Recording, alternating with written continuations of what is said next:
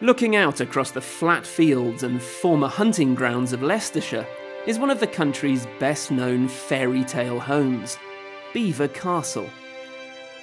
It gets its name from the French, Belvoir, meaning beautiful view, and from the air you can certainly see how appropriate the name is.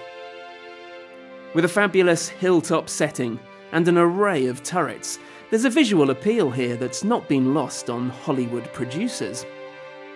In the last few years, Belvoir has played the part of the Pope's summer residence in the Da Vinci Code, as well as being used for several scenes in the Young Victoria.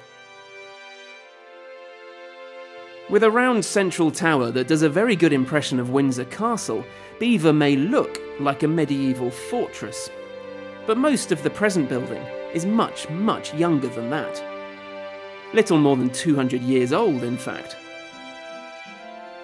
Built largely by the 5th Duke of Rutland, Belvoir was designed to please his wife, who desired a romantic home reminiscent of days of knights, armour, and chivalry.